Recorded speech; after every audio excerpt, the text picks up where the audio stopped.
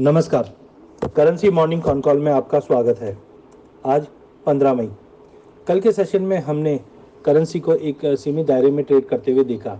No doubt जब से हमने देखा है कि कोविड 19 के चलते स्टिमुलेशन की जो घोषणा हुई है, उसके बावजूद रुपए में तेज़ी नहीं दिखाई दे रही है, जो कहीं ना कहीं संकेत देता है कि इंटरनेशनल और डोमेस्टिक फैक्टर अभी भी कोविड 19 को लेकर कंसर्न है। कल हमने यू एस में करीबन 0.33 परसेंट की तेज़ी आती हुई देखी। शॉर्ट कवरिंग के चलते प्राइजेस पिछहत्तर पैंसठ के करीब जाके क्लोज होता हुआ दिखाई दिया। इंटरनेशनल में हमने देखा कि फेड चेयरमैन ने जिस ढंग से नेगेटिव इंटरेस्ट रेट को नकारा है, उसके बाद डॉलर इंडेक्स में जो जंप आया, जिसके चलते हमने यूरो और पाउंड दोनों में ही गिरावट आती हुई देखी।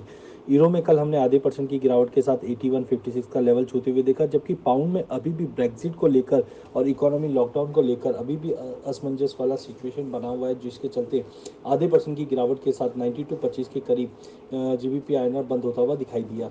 आगे का भी आउटलुक थोड़ा वीक ही दिखाई देता है।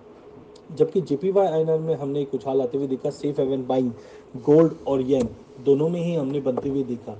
हमने देखा कि मार्केट में करीबन zero point two two percent की तेज़ी के साथ फ्रेश बाइंग दिखाई दी, जो सत्तर साठ का लेवल क्रॉस करता हुआ दिखाई दिया। आज का सेशन काफ़ी इंपॉर्टेंट रहना है। शुक्रवार को जनरली हम रिवर्स ट्रेड देखते हैं। आज की अगर ओपनिंग की अगर बात करें तो आज करेंसी में हम एक साइडवे प्राइस मोमेंटम देख सकते हैं इनिशियली सबसे पहले अगर हम फ्राइडे फैक्टर्स की बात करें मीन डेटा पॉइंट की अगर बात करें तो आज यूएस से को रिटेल सेल्स रिटेल सेल्स और मैन्युफैक्चरिंग इंडेक्स का डेटा आना है। साथ में इंडस्ट्रियल प्रोडक्शन का डेटा भी आता हुआ मार्केट में दिखाई दे रहा है। ओवरऑल फ्राइडे के सेशन में हम जनरली देखते हैं प्राइजेस में एक रिवर्स ट्रेड होता है।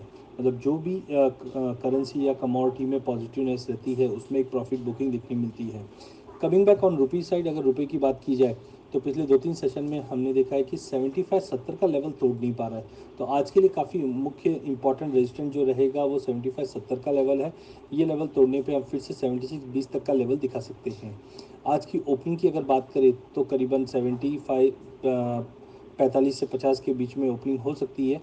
इस ओपनिंग में हमें देखकर बाइंग करके चलना चाहिए। धन्यवाद।